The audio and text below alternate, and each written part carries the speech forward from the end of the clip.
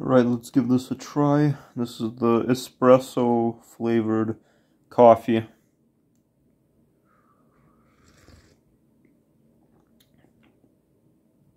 Yeah, pretty good. Pretty good. This is enjoyable.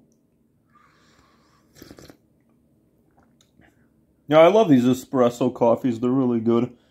But yeah,